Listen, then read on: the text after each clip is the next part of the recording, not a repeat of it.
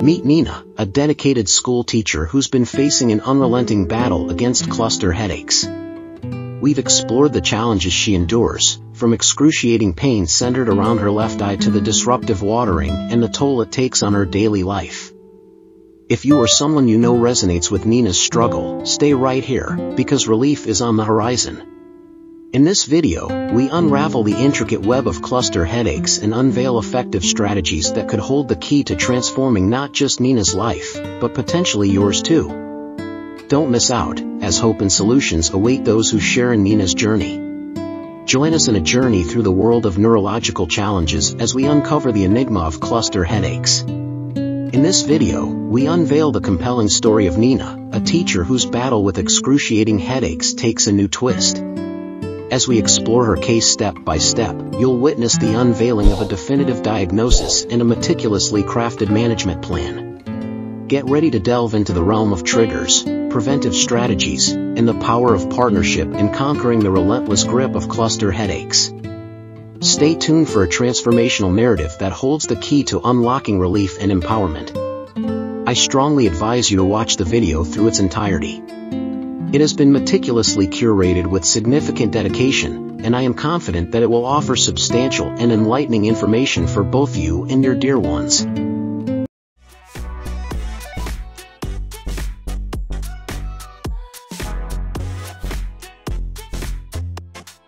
Hey, everyone! Welcome back to my channel.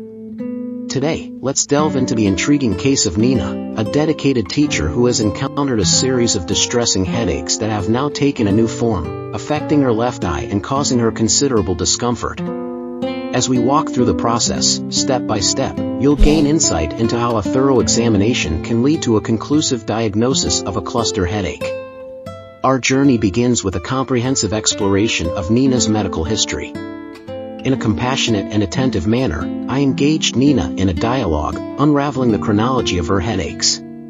We discussed the nature of her pain, its intensity, triggers, and any associated symptoms. It was important to gather a holistic understanding of her condition, allowing us to pinpoint possible causative factors. Moving forward, a meticulous clinical examination ensued. By observing Nina's demeanor and reactions, I aim to decipher any physical manifestations or cues that could offer valuable diagnostic insights. The focus shifted to her left eye, an area of particular concern. The examination sought to unveil any observable abnormalities that might be linked to her symptoms. To provide a comprehensive evaluation, a series of blood tests were ordered. These tests play a crucial role in unveiling potential underlying factors that could contribute to Nina's condition. From inflammatory markers to hormonal imbalances, each test is a puzzle piece that contributes to the holistic diagnostic picture. Following a meticulous analysis of Nina's medical history, clinical observations, and blood test results, a definitive diagnosis emerged, cluster headache. This diagnosis shed light on the unique pattern of excruciating headaches that Nina had been experiencing. Cluster headaches often manifest with severe pain localized around one eye, and their recurrent nature corresponds with Nina's experiences. Nina expressed her curiosity to gain a more comprehensive understanding of the term cluster headache. Cluster headaches are very severe headaches, more so even than migraines.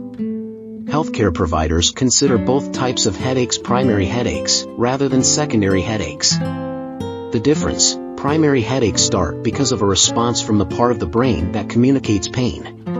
A primary headache is its own health challenge, not part of a larger issue. Secondary headaches start because of another health condition. Several things can cause these headaches, including ear infections, nasal congestion, and dehydration. Cluster headaches can disrupt your life for weeks or even months at a time. They tend to follow a pattern, often showing up at the same time each day. They can also wake you up an hour or two after going to bed. These nighttime headaches may feel more severe than those during the day. Cluster headaches get their name from how they affect you. They come on in clusters, or groups, before temporarily going away for most people. Each headache tends to last 30 to 45 minutes, though some are shorter and some longer. You may experience up to 8 of these headaches within 24 hours and this may happen for weeks or several months. then the clusters usually pause, for reasons that aren't yet understood. The headaches go into remission, go away, for months or years before returning. Some people never get much of a break, though. They experience chronic, ongoing, cluster headaches. This happens to about 1 in 5 people who get cluster headaches. Some people call cluster headaches suicide headaches. This name came from people taking their lives when experiencing a cluster headache or anticipating one. Unfortunately, some people feel like they have no hope with cluster headaches. But healthcare providers can help you with these headaches. Cluster headaches affect 1 out of every 1,000 people. That makes them less common than migraines, though some people get both types of headaches. Symptoms of cluster headaches usually start showing up between the ages of 20 and 40 researchers once thought these headaches affected men more often. They now believe they affect men and women equally. Cluster headaches are also more common in people who smoke and frequently drink alcohol. Many people who get cluster headaches also have sleep apnea. Experts still don't know a lot about cluster headaches, including exactly what causes them cluster headache is a type of trigeminal autonomic cephalgia involving the hypothalamus, a brain structure of the autonomic nervous system and involve the first branch of the trigeminal nerve. The symptoms are severe side-locked pain, typically around and in the eye, tearing if you experience cluster headaches, you likely know the triggers. These are things that can start headaches or otherwise affect them. There are two ways to look at triggers, triggers that start a new cycle, round, of headaches, most people go months or years between cluster headache periods. When headaches start again, the shift often appears tied to changes in seasons. The connection leads people to think they have allergies or sinusitis. It may happen because of suspected ties between cluster headaches and the hypothalamus. This part of your brain contains your circadian clock, a built-in schedule that responds to sunlight. During headache periods, the blood vessels in your brain change. These changes make you more sensitive to alcohol and nicotine. Drinking just a little alcohol can bring on a headache. Smoking can also make headaches feel worse or trigger a headache. Cluster headaches tend to have very recognizable symptoms. When symptoms set in, it usually only takes 5 to 10 minutes for them to reach their worst. Common symptoms include one-sided head pain and other symptoms involving the eye, nose, and skin on the same side as the pain pain from cluster headaches has a few notable features. Often described as a burning or piercing feeling. Lasts 15 minutes to 3 hours at a time. Typically felt on the same side of the head in the current cycle, rarely may switch in the future. Always centered behind one eye but can spread over the affected side's forehead, temple, nose and gums. Can make you feel like you can't sit still and need to pace, unlike the relief lying down provides for migraines. Cluster headaches may also cause congestion. Your nose may run or become stuffy only on the side of the headache eye problems. You may experience a drooping eyelid, eye pain or a watering eye. Your pupil, black center of the eye, may also look smaller. These symptoms appear on the same side of the head as headache pain. Face changes. You may start sweating and your face may become flushed on the side of the headache. Are there warning signs for cluster headaches? You may experience slight discomfort or a burning feeling on one side of your head just before a cluster headache. But cluster headaches often come on fast, so these signs don't leave much time to prepare. How are cluster headaches diagnosed? To diagnose a cluster headache, a healthcare provider will need to thoroughly check you. Neurologist will rule out other problems that can cause headaches. You'll likely need to have imaging done, such as an MRI or CT scan. How are cluster headaches treated? Unfortunately, there is no cure for cluster headaches. But you do have treatment options that can make them a little less painful. Treatment options include, often, a headache will stop before you have a chance to see a healthcare provider.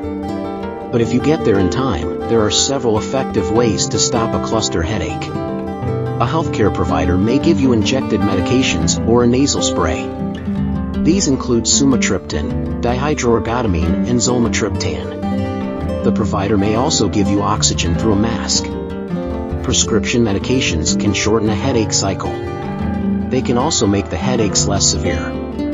calcium channel blockers, verapamil, lithium carbonate, divalproex sodium, melatonin or topiramate may help. What else can I do for cluster headaches? Some alternative therapies may provide relief from cluster headaches, including acupuncture, an ancient Chinese treatment. Acupuncture uses small needles. They're inserted into your skin at various points to relieve pain. Physiotherapy, treatment focuses on stretching, moving joints and massaging. Spinal manipulation, this chiropractic adjustment adjusts the alignment of your spine. What can I do to prevent cluster headaches? The best way to prevent cluster headaches is to avoid triggers such as drinking and smoking. Also, if you suspect you have sleep apnea, get it treated. The sleep condition appears tied to cluster headaches in some way. What can I expect if a doctor says I have cluster headaches? Your healthcare provider will work with you to find a treatment. Your treatment plan may include medications and other therapies. Make sure to follow your healthcare provider's recommendations for the most effective relief. When should I see a doctor for a cluster headache? If you suspect you have cluster headaches, reach out to a neurologist to confirm the diagnosis and to exclude other causes that may mimic headache. You do not have to be in the midst of a cluster to be seen by a specialist to be diagnosed. Everyone gets headaches from time to time, for various reasons. But cluster headaches are no ordinary headaches. If you experience severe headaches in a pattern, talk to your healthcare provider. You could have cluster headaches and can get treatment for this painful condition. With a definitive diagnosis of cluster headache in hand, Nina and I embarked on a journey toward effective management. Our focus now shifted to developing a comprehensive plan that not only addressed her acute pain but also aimed to prevent and minimize the recurrence of these debilitating attacks. Our first step involved delving into the triggers that could potentially exacerbate Nina's cluster headaches. Through a collaborative discussion, we identified common triggers like certain foods, alcohol, strong odors, and changes in sleep patterns. Nina's active participation in identifying triggers was crucial in tailoring her management plan. To mitigate the risk of triggering a cluster headache, I recommended that Nina make specific dietary adjustments, minimizing the consumption of trigger foods and beverages, such as aged cheeses, processed meats, and alcohol, could play a pivotal role in reducing the frequency and severity of attacks. We delved into the importance of maintaining a consistent sleep schedule. Nina learned that irregular sleep patterns could potentially trigger cluster headaches. Establishing a sleep routine and ensuring adequate rest became integral aspects of her management plan. Given the cyclical nature of cluster headaches, we explored the significance of maintaining regular routines, even during symptom-free periods. Exposure to natural sunlight, particularly during the day, can aid in stabilizing the body's internal clock and potentially alleviate the intensity of attacks. Engaging in regular exercise emerged as a powerful tool in managing cluster headaches. Nina discovered that physical activity could contribute to improved circulation, stress reduction, and a potential reduction in the frequency of attacks. We delved into stress management strategies, emphasizing mindfulness, deep breathing exercises, and progressive muscle relaxation. Nina recognized that these techniques could act as shields against the triggers associated with stress-induced attacks. Nina was introduced to biofeedback and cognitive behavioral therapy, CBT, as potential strategies to enhance her coping mechanisms. These techniques could empower her to better regulate her body's response to stressors and reduce the likelihood of cluster headaches. In some cases, preventive medications might be considered. Nina and I discussed medications that could help reduce the frequency and intensity of cluster headaches. We weighed the benefits and potential side effects, ensuring that Nina was well informed and actively involved in decision making. Throughout this journey, Nina's active involvement and commitment were instrumental. Our partnership was centered on continuous communication, regular follow-up appointments, and adjustments to her management plan based on her individual responses. In conclusion, Nina's personalized cluster headache management plan integrated dietary adjustments, lifestyle modifications, stress management techniques, and potential medication options. By addressing triggers, optimizing routines, and fostering a holistic approach, Nina was empowered to navigate her path toward relief and regain control over her well-being. So there you have it, dear viewers, Nina's journey to overcome cluster headaches demonstrates the importance of seeking professional help when dealing with severe headaches. With the right diagnosis, personalized treatment plan, and dedication, relief is possible.